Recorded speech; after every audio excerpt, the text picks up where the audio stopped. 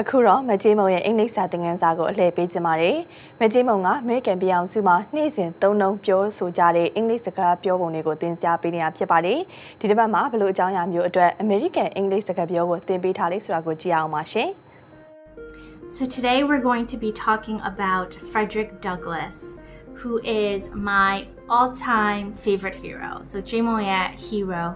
ဒီတယောက်ကိုဂျင်းမဘာဖြစ်လို့အရန်သဘောကျတာလဲဆိုတော့ I admire him so much because he had taught me and he inspired so many people that wherever you come from as long as you put in the hard work you can be anything so Frederick Douglass ကဘာရီတင်ဘာရီတင်လဲဆိုတော့သူ့ဘဝနဲ့သူကဘယ်လိုနေရာကလာသည်ဖြစ်စေ အခက်ခဲတွေကြားထဲမှာဘယ်တော့မှအရှုံးမပေးရင်ဘာပဲဖြစ်ဖြစ်ဖြစ်နိုင်တယ်ဘာပဲလိုချင်ဖြစ်နိုင်တယ်ရနိုင်တယ်အပေါ်ရောက်နိုင်တယ် so okay so who is Frederick Douglass Frederick Douglass was the son of a slave woman and her white owner so her his mother was African American and she was a slave Frederick Douglass အမေကဂျန် no, she was a slave, Chuma. to um, African American, a Amyodamia.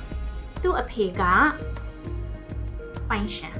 Slave owner. to a pega, Pineshan. Pineshan pituga, lupu. No? At age six, he was left on a plantation farm by his grandmother, and he recalls feeling so abandoned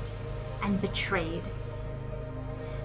သူအသက်6နှစ်အရွယ်တုန်းကသူ့ရဲ့အဖွားကသူ့ကို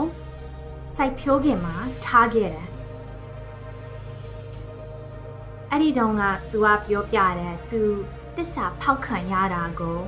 ခံစားရတယ်တဲ့ As Frederick Douglass grew older his white owner's wife taught him how to read when the white owner, the husband, found out, he stopped the lessons. Frederick Douglass soon realized all the injustices that were being done to him. He also understood the key to fight against social injustice was by educating his people. So he began teaching other slaves how to read and write he became so popular that slave owners tried to stop him. They tried to stop him from educating his own people. Frederick Douglass အရွယ်ရောက်တဲ့ခါကျတော့တခင်ရဲ့သူ့ရဲ့တခင်ရဲ့မိမကသူ့ကိုစာဖတ်တတ်အောင်သင်ပေးတယ်။နော်။ so ဒီမျိုးသမီးက Frederick Douglass ကိုစာရေးသင်သင်ပေးတယ်။ယောက်ျားကအအမျိုးသမီးရဲ့ယောက်ျားသူ့ရဲ့ပိုင်ရှင် နော်အဖြူပိုင်ရှင်ကအမ်စိတ်တိုးပြီးရဲ့ခါကျတော့မလို့အောင်တားထားတယ် Frederick Douglass ကစာအာစာမတင်ရဘူးတဲ့နော်အဲ့အချိန်မှာ Frederick Douglass ကမတရားဘူးဆိုတာသူချက်ချင်းသဘောပေါက်သွားတယ်သူ့လိုလူမျိုးတွေကိုပညာသင်ကြားပေးခြင်းနဲ့လို့သူကဆုံးဖြတ်ထားတယ် တခြားကျင်တွေကိုသူစာရေးစာဖတ်အောင်ဖះเจ้าတွေမှာ churches တွေမှာသူစာသင်ပေးတယ် Frederick Douglass ကတိနာမည်ကြီးလာတယ်ကျင်ပိုင်ရှင်တွေကတော့ဒေါသတွေထွက်ပြီးရဲ့ခါကျတော့သူ့ကိုတားဆီးတယ်တားဆီးဖို့စ조사တယ်